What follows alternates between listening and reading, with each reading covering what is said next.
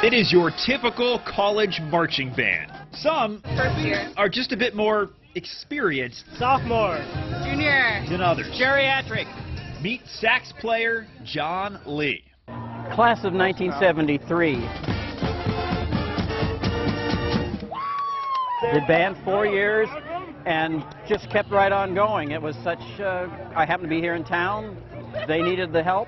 I wanted to do it and was able to work around my schedule and been doing it ever since. It's just great. And 43 years later,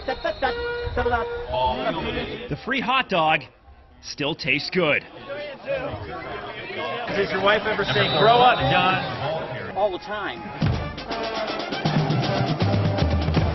No, I'm not going to stop doing it, you know, as long as I feel good, as long as it's fun, and these youngsters always make it fun.